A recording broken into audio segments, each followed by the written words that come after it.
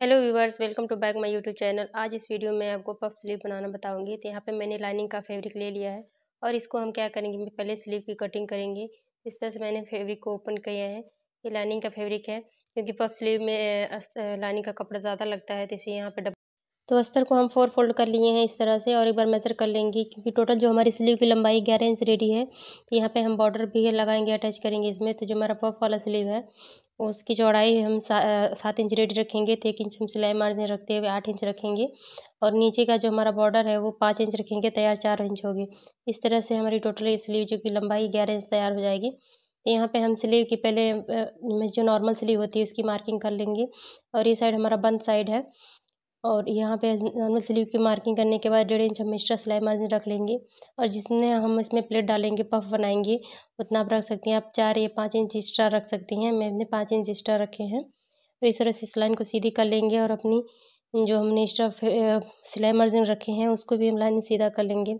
सीधा करने के बाद इसे हम नॉर्मल स्लीव की सेप देंगे। तो यहाँ पे हमने ती, तीन इंच पे बाजू की सेप दिए हैं और ऊपर के साइड में हम ढाई इंच रखेंगे। इस तरह से ढाई इंच रखने के बाद हमें यहाँ पे इसको सीधी लाइन को बाजू की सेप दे देंगे। इस तरह से शेप देने के बाद इसको हम नीचे तक पूरा मिला लेंगे। नीचे की शेप के लिए हम यहाँ पे एक बार फिर से मेज़र करेंगे। तो यहाँ पे हम जो हम तीन इंच छोड़े थे शेप के लिए, यहाँ पे नीचे साढ़े तीन इंच छोड़ेंगे आधा इंच और स्टर लेते हुए यहाँ हम स्लीव की प्रॉपर शेप दे देंगे। और यहाँ पे से हमारी जो स्लीव है पफ स्लीव की लंबाई टोटल बारह या तेरह इंच की तैयार होती है, क्योंकि पाँच छः इंच हमें एक्स्ट्रा लेना पड़ता है प्लेट डालने के लिए। और इस तरह से हम यहाँ पे शेप दे देंगे। एक इंच का उठाते हुए, बाजू का थोड़ा सा इस तरह से गहराई देते हुए हम इसको कटिंग कर लेंगे। कटिंग करने के बाद यहाँ पे हम शेप नहीं देंगे क्योंकि इस पफ स्लीव है तो अपने आप से एडजस्ट हो जाता है। स्टर फैब्रिक को निकाल लेंगे और सेंटर से ओपन कर देंगे। ये साइड हमारा बंद है और इस तरह से इसको ओपन करने के बाद कुछ इस तरह से लुक आता है। सेंटर से कट लगा देंगे ताकि हमें पफ स्लीव का सेम मेज़र होता है। इसमें हम जो नॉर्मल हमारी स्लीव कटती है, सेम उसी प्रकार से हम इसे कट करना है। बस चार या पाँच इंच आप अपने हिसाब से कम या ज़्यादा रख सकती हैं। तो हमने इस तरह से कट करके ले लिए हैं दोनों बाजू। अब यहाँ पे मेन फैब्रिक पे ले लेंगे। मेन फैब्रिक लेने के बाद हम यहाँ नीचे का बॉर्डर कट करके निकाल लिए थे। कट करने के बाद इसको हम मेज़र कर लेंगे तो टोटल हमारा पाँच इंच है। एक इंच हम इसमें सिलाई मार्जिंग ऐड किए हैं। तो हम यहाँ पे लाइनिंग के कपड़े के बीच पाँच इंच काट लेंगे। तो यहाँ पर हम लाइनिंग कपड़े लिए हैं और दोनों फोल्ड किए हैं। डबल फोल्ड करने के बाद इसको मेज़र कर लेते हैं। पाँच इंच हमारा जहाँ पे आएगा उसी पे मार्क करके हम इसको कट कर लेंगे। तो अभी तक तो वीडियो को लाइक और सब्सक्राइब नहीं किए हैं तो प्लीज़ वीडियो को लाइक और सब्सक्राइब ज़रूर कर दें। आल का ऑप्शन ज़रूर सेलेक्ट कर दें, जिससे आने वाली वीडियो का हर नोटिफिकेशन आपको टाइम से मिलता रहे। और यहाँ पर हमने सिंपल सीधे हम इसको कट कर लिए हैं। कट करने के बाद सेंटर से ओपन कर देंगे। ओपन करने के बाद ये दोनों पार्ट हमारा जो हमारा नीचे का पार्ट है बॉर्डर वाला वो रेडी हो गया है।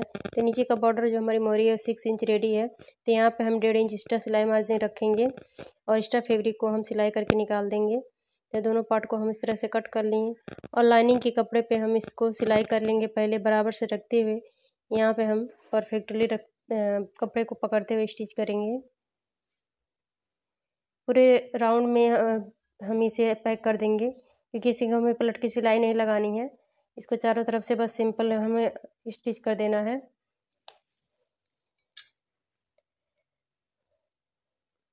तो हमारे इस वीडियो में कुछ नया टिप्स और ट्रिक ज़रूर मिलेगा सीखने को। प्लीज़ वीडियो को लास्ट तक बने रहिए।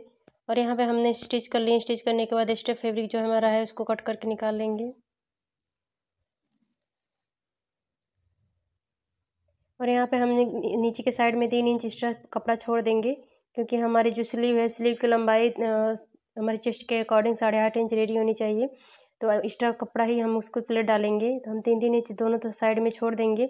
छोड़ने के बाद हल्के हाथों से यहाँ छोटे छोटे प्लेट्स बनाते प्लेट को हम हल्के हाथों से बिल्कुल नॉर्मली प्लेट बनाते जाएँगे। ज़्यादा, थोड़ी सी दूरी पे ही बनाएँगे। ज़्यादा नज़दीक नहीं करेंगे। नहीं तो पफ एक ही जगह ही इकट्ठा हो जाता है। इसलिए थोड़ी थोड़ी दूरी पे ही बनाएँगे, जिससे इसका सेब अच्छे से उभर के आ जाए। और ये छोटे छोटे प्लेट्स बनाते जाएँगे। जहाँ तक हम निशान लगाए हैं, उतनी ही प्लेट हमको लगानी है। एक्स्ट्रा कपड़ा हमको छोड़ देना है तीन इंच क्योंकि हम यहाँ पे दो, दोनों पल्ले को बराबर से पकड़ते हुए मेज़र करेंगे। जितना हमारा मार्किंग है साढ़े आठ इंच आना चाहिए क्योंकि चेस्ट के अकॉर्डिंग हमारा जो स्लीव है रेडी होना चाहिए। एक्स्ट्रा फैब्रिक नीचे के साइड में थोड़ा सा ज़्यादा लेते हैं क्योंकि नीचे के साइड में हमें बॉटम में थोड़ी सी कम होती है तिरछी होती है इसलिए थोड़ा सा कम होना चाहिए। यहाँ पे बराबर पकड़ते हुए जो हमारे प्लेट ऊपर के साइड में पड़े हैं उसी के अकॉर्डिंग हमें यहाँ पे नीचे के साइड में हमारा जो प्लेट है रेडी होगा। यहाँ पे थोड़ी सी एक्स्ट्रा आप भी रख सकते हैं। और ये पफ डिज़ाइन बहुत ही खूबसूरत लगता है और ये आजकल बहुत ज़्यादा से चल रहा है।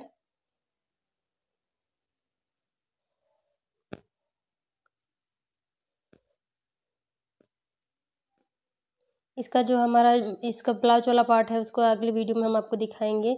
मैंने यहाँ पे पहले स्लीव रेडी कर लिए हैं, इसके बाद हम अपना ब्लाउज का पार्ट रेडी करेंगे। तो यहाँ हम इसको मेज़र कर लेंगे तो टोटल सात इंच आ रहा है तो ये परफेक्ट है।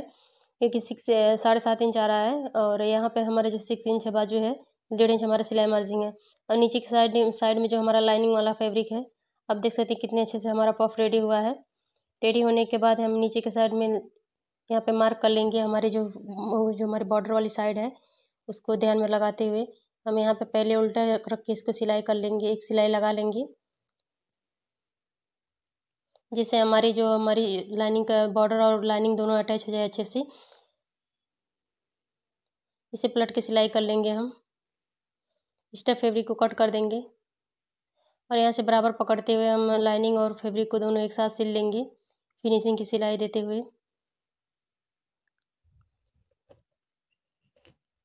सिलाई देने के बाद दोनों कपड़े को बराबर करके देख लेंगे एक्स्ट्रा फैब्रिक को कट करके निकाल लेंगे। और यहाँ पे हम अस्तर को पहले रख के नीचे से सिलाई कर लेंगे।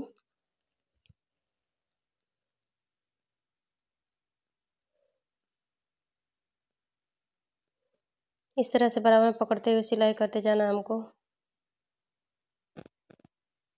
हाफ़ इंच की सिलाई मार्जिन रखते हुए हमें सिलाई करेंगे और एक्स्ट्रा फैब्रिक को इस तरह से बराबर नाखून से प्रेस कर लेंगे और ऊपर के साइड में मेज़र करके देख लेंगे कितना कपड़ा हमारा स्लीव के अंदर सिलाई में जाएगा। उतना मेज़र करने के बाद इस तरह से बराबर कपड़े को रखते हुए नाखून से प्रेस कर लेंगे, जिससे हमारी सिलाई करने में ईजी हो जाती है।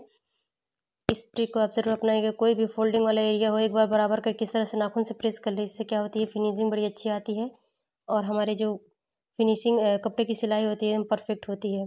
अब इसमें कोई भी झोल नहीं आती है, ना सिकुड़न आती है। इस तरह से एक बार ज़रूर ट्राई करिएगा। और यहाँ पे हम बराबर करते हुए देखिए, किसी कोई भी तरह की कहीं भी झोल नहीं है, कहीं भी सिकलन नहीं है। हमारे इस पफ स्लीव में। एक्स्ट्रा फैब्रिक कट कर देंगे। कट करने के बाद एक बार इस तरह से बराबर करते हुए थोड़ा सा शेप दे देंगे हम। और ये टोटल हमारे ग्यारह इंच की स्लीव रेडी हुई है। आप अपने हिसाब से कम या ज़्यादा रख सकती हैं। सेम यही प्रोसेस है। जितना आपको वन हाफ़ वन इंच सिलाई मार्जिंग एक्स्ट्रा रखना पड़ता है, कोई भी पफ स्लीव बनाए, उसमें वन इंच दोनों साइड में हमारी सिलाई होती है तो एक्स्ट्रा रखना है। इस तरह से हम दोनों पफ स्लीव को रेडी कर लिए हैं। लेंगे नेक्स्ट वीडियो में तब तक के लिए धन्यवाद।